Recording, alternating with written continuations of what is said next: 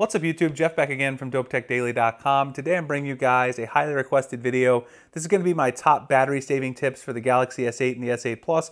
Now I already did a video talking about battery life and my top problems and solutions for the Galaxy S8. This one's going to focus entirely on battery life and nothing else. The Google Keep document, as usual, will be linked below if you guys want to check these tips out in text form. So let's get right to it. The first tip is a very simple one, is to turn off the auto brightness on your phone. You can go into display settings and do this. A lot of the first few tips are very simple and can be found in display settings. Some people don't realize that auto brightness using the sensor itself actually does give you poorer battery life. Also, you can adjust this to the smallest minimum level, which will be visible. I have it in the middle here because I want you guys to be able to see the phone for the video. But you can turn this down to the smallest readable level indoors and outdoors. That'll save some battery life because the auto brightness sensor sometimes overcompensates. Plus, when you're outdoors, you get that extra screen brightness boost. If you're not in a bright area where you don't really necessarily need it, you might want to turn that down to a lower level if you're concerned with battery life.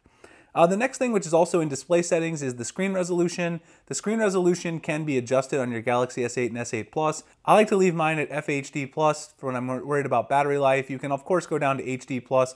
WQHD Plus does give you the highest resolution, but it's also going to be the one that drains your battery life the most. The next thing that you can do also in display settings is go down to the screen timeout and you can go ahead and change that screen timeout. Now this is set to 30 seconds by default, but I highly recommend that if you're interested in saving battery life, that you go ahead and turn that down to the minimum screen timeout, which is 15 seconds.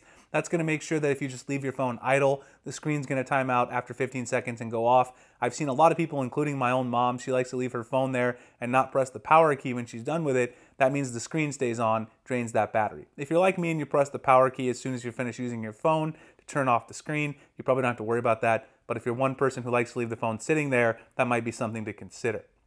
All right, so those are the first three things here we sort of knocked off the list. The next one is to use a dark theme wallpaper and icon pack. Now you guys can see the one that I'm running right here. This is using Action Launcher 3 with the murdered out icon pack. And I'm also running a material black theme from the Samsung theme store. I did make a full tutorial on how to implement this theme, so I'll drop it below. You can get some additional savings by using a fully black wallpaper as well. This one's not fully black, so it doesn't give you the maximum savings from the AMOLED display, but going with a dark theme will definitely save you some battery life overall. The next tip is to use Package Disabler Pro to disable some Samsung bloat, uh, anything that you don't want to use. Now I mentioned this in my previous video, that problems video I was talking about before, but some people wanted me to go through some more details about what in particular I disable. So I want to show you guys the list of things that I have disabled in Package Disabler Pro. I'm also going to drop a full list below uh, XML file that you can import into Package Disabler Pro. Right here it says import from XML and you guys can disable all of the things that I have disabled.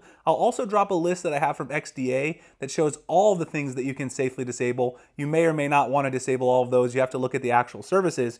But the things that I have disabled are right here. I disabled the ANT radio service, Bixby, Flipboard briefing, car mode, email from Samsung, Yahoo Finance, Samsung Internet because I use Chrome, uh, Sound Picker, Sound Alive, Samsung Mirror Link, Samsung Setup Wizard. There's a whole lot of other Samsung services you can disable if you don't use them.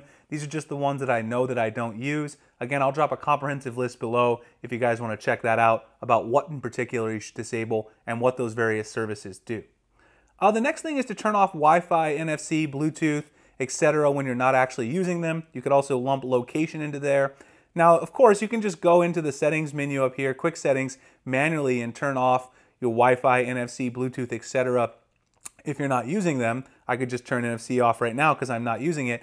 However, there is a smarter way to go about doing some of these things, and that's by using the app If This Then That. If This Then That is a great app that allows you to uh, trigger certain actions based on uh, something happening. So I have several things set up that help me save battery life. For instance, as soon as I get to work, we turn on Wi-Fi. Whenever I get to work, I mute my Android phone, which means I don't have to worry about vibration or the ringer draining any battery, or also obviously the ringer going off when I'm in a meeting.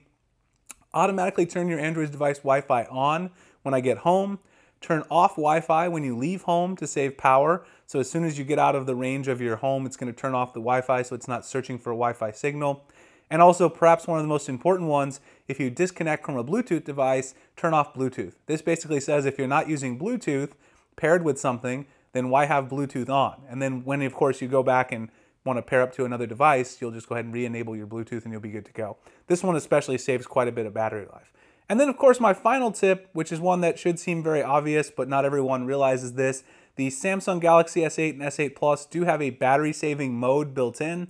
The reason I didn't mention this as my primary method of saving battery life is because the battery saving modes don't give you much granular control. They have very sort of preset things that they do. So if you go into battery here and then you look at the three modes, you either have the battery saving mode off, you have mid or max. If you go into mid, you can see what it does. It decreases the brightness by 10%, sets the screen resolution to FHD+, speed limiter for the CPU speed, background network usage is off, and the always on display in this case uh, is in fact off as well. So turning the always off on display, of course, is a feature that you can also use to save battery life, and Samsung will implement it for you. This will not do any of the things that I mentioned, though, with if this, then that, or Package Disabler Pro. It also doesn't give you as granular, fine control over what it is that you're changing. You can go into customize though and change a few things here, but still not quite as granular control as some of the other things that I mentioned earlier. There's also a maximum uh, maximum battery saving mode, which will turn the screen resolution down to HD+. plus. Uh, you also turn off the always on display, etc.